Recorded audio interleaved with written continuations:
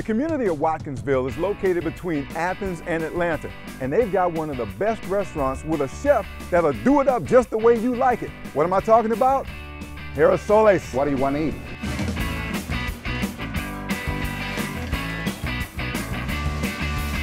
Chef Jose Zambrano is the owner and creator of this small fusion style restaurant.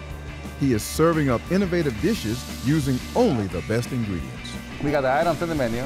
But one of the specials here is I come to the table and say, yes, sir, what can I do for you? Say, what can I eat tonight? And I say, well, tell me what do you want to eat? And people say, I'm between seafood and a steak. So I got the order. So I go by the kitchen, I cook a steak and seafood, mix in the plate, and make a good meal. So we'll make happy to my customers. Be it Italian, French, Mexican, Greek, you name it, Chef Jose can cook it up. He even makes all of his sauces and dressings. After seeing all the action in the kitchen, Chef insisted I eat. So he whipped me up something fantastic, and you know I couldn't resist. So tell me, what do we have here? Okay, we got the, we call it chicken rustica mm-hmm. with pan-seared chicken, finished with marinara sauce, tandoori sauces, and shrimp. And served with chickpeas and a vegetable mainly. You know what, Chef?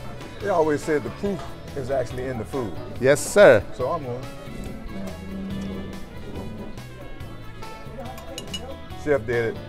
Thank you. Great. that is fantastic. Thank man. you. And I like the way that you all talk about infusing all the flavors of the different food, but even the color of this plate is attractive. The color, it makes the flavor. Mm-hmm. And we already put love in the food, and you put extra flavor in that, you got it incredible.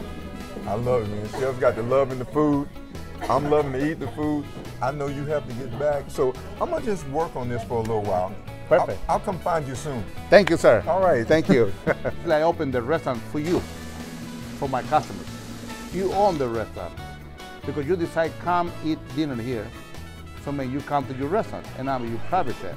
That's pretty good. What you get? I want to reflect the love I put in the food when I cook it. People want to see a happy man. People want to see a energy man cook his food.